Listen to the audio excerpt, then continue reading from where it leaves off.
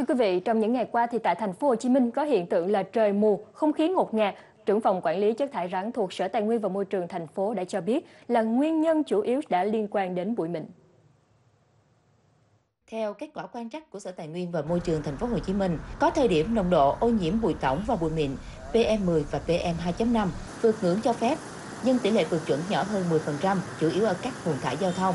Cụ thể, trong tháng 12 năm 2023, mẫu bụi tổng vượt chuẩn 9,38%, tập trung ở ba nút giao thông Cát Lái, An Phú và Lê Đại Hành.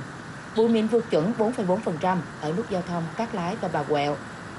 Đa phần các mẫu vượt chuẩn ở thời điểm 7 giờ 30 đến 8 giờ 30 sáng, thời điểm phương tiện giao thông lưu thông nhiều.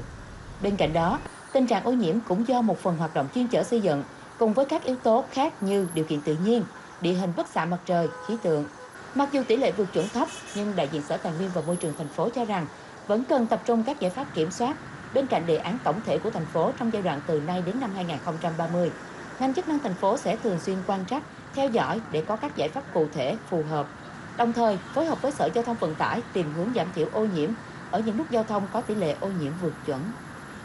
Và trong hiện tại thì Việt Nam vẫn là nền kinh tế mạnh trong khu vực với dự báo tăng trưởng kinh tế năm 2024 sẽ đạt 6%. Đây là báo cáo mới nhất vừa được Văn phòng Nghiên cứu Kinh tế Vĩ mô ASEAN Cộng 3 AMPRO có trụ sở tại Singapore vừa công bố. Báo cáo mới nhất của AMPRO dự báo là Việt Nam sẽ đạt tốc độ tăng trưởng 6% trong năm 2024 này, đứng thứ ba sau ở khu vực ASEAN chỉ sau Campuchia và Philippines. Mức tăng trưởng này là nhờ vào đà phục hồi trở lại của xuất khẩu đã xuất hiện vào nửa cuối năm 2023. Với nền kinh tế dựa vào xuất khẩu thì Ampro cũng khuyến nghị là Việt Nam nên đa dạng hóa thị trường xuất khẩu để tránh cú sốc từ bên ngoài.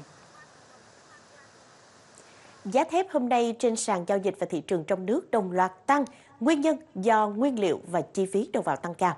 Cụ thể, công ty trách nhiệm hữu hạn Hoa Phát Hưng Yên thông báo điều chỉnh giá bán hàng. Theo đó, giá thép cuộn xây dựng điều chỉnh tăng 200.000 đồng một tấn, Công ty cổ phần gang thép Thái Nguyên cũng đã có thông báo điều chỉnh giá bán sản phẩm cốt bê tông dạng cuộn thêm 200.000 đồng một tấn. Điều chỉnh tăng giá thép lần này của các doanh nghiệp trong nước diễn ra trong bối cảnh giá thép trên thị trường thế giới diễn biến tăng. Thưa quý vị, trong thời đại công nghệ hiện nay, rác điện tử ngày càng trở thành một vấn đề nhức nhối đối với môi trường và sức khỏe của con người. Tuy nhiên, tại một góc nhìn khác, những linh kiện điện tử đã qua sử dụng lại trở thành nguồn cảm hứng cho sự sáng tạo và những sản phẩm độc đáo như là à, máy hát tái chế từ linh kiện điện tử, nơi sự sáng tạo và âm nhạc cùng hội tụ. Từ đầu những năm 2000, khi công nghệ số và Internet lên ngôi, thì những máy nghe nhạc đĩa dần trở nên lỗi thời và vắng bóng dần trong đời sống thường ngày máy nghe nhạc đĩa thường bị vứt bỏ và thay thế bởi các công cụ nghe nhạc tiện lợi hơn. Vì vậy, việc tái chế linh kiện điện tử đã qua sử dụng từ chiếc xe hơi cũ và TV lỗi thời để tạo ra máy nghe nhạc đĩa không chỉ mang lại giá trị âm nhạc và sự sáng tạo, đưa người nghe trở về miền ký ức, nhiều hoài niệm mà còn đóng góp vào việc bảo vệ môi trường. Không gian ở đây thì thấy rất là uh, hoài cổ và rất là hợp với Đà Lạt và đặc biệt là những cái máy mà tái chế thì nó cũng đã mang lại một cái cảm giác ờ, cũ kỹ rồi. Nhưng mà thực sự là cảm giác là ấm áp. Và đặc biệt là chất lượng âm thanh thì cũng mang lại cho mình cái cảm giác là ờ, cái cái chất lượng âm nhạc nó được mang tới ổn. Đối với tôi thật sự là nghe nhạc cái âm thanh nó hay bằng một cái thương hiệu khổng lồ khác hay không không quan trọng lắm. Ờ, Tất nhiên là nó phải được chứ không phải quá tệ phải không? Ờ, nhưng mà đối với tôi là cái ý kiến đó cực kỳ hay và nó nó rất phù hợp với lại một cái thành phố như là Đà Lạt. Máy nghe nhạc đĩa tái chế từ linh kiện điện tử với ý tưởng đưa người thưởng thức âm nhạc trở về không gian xưa cũ của những sắc màu âm nhạc gần gũi và bình dị, kết hợp với thiết kế thủ công, mang đậm phong cách của quê hương con người Đà Lạt hiền hòa lãng mạn. Các bạn ký họa bên mình thì ờ, chọn những cái ờ, khung cảnh hoặc là những cái nhân vật mang lại rất là nhiều cái cái cái cái, cái giá trị âm nhạc cho Đà Lạt. Ví dụ như là cà phê Tùng hoặc là ờ, cái nơi thường xuyên tổ chức những concert